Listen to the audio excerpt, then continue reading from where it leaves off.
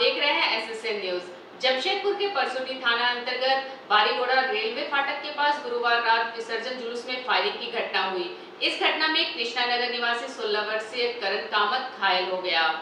इधर मौके पर मौजूद लोगों ने फायरिंग करने वाले तीन लोगों को पकड़ लिया और पास ही मौजूद टाटा मोटर्स बस में पथराव भी किया, जिससे बस का शीशा टूट गया। घटना के बाद स्थानीय लोगों ने करण को इलाज के लिए टाटा मोटर्स अस्पताल पहुँचाया, जहाँ से उसे बेहतर इलाज के लिए टीएमएच रेफर कर दिया गया। करण के बाएँ पैर में गोली लगी है। जानकारी के अनुसार रात ग्यारह बजे विसर्जन जुलूस बारीगोड़ा फाटक के पास पहुँचा था। इसी बीच बाइक से पहुँचे लोगों ने फायरिंग कर दी, जिसमें करण घायल हो गया। घटना के बाद पुलिस मौके पर पहुँची और जाँच पड़ताल शुरू कर दी है। पुलिस आगे की कार्रवाई में जुट गई है।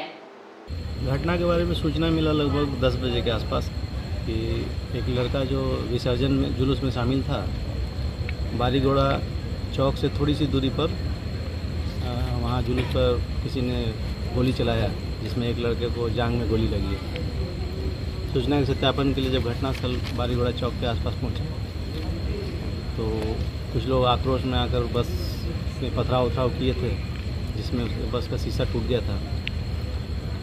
और गहन छानबीन के बाद तीन व्यक्ति का नाम आ रहा है, जिसको पूछताछ के लिए हम लोगों ने डिटेन किया हुआ है दिन भर की ताज़ा अपडेट्स के लिए जुड़े रहे हमारे साथ यूट्यूब और फेसबुक पर। साथ ही हमारे चैनल को लाइक शेयर और सब्सक्राइब करना ना भूलें।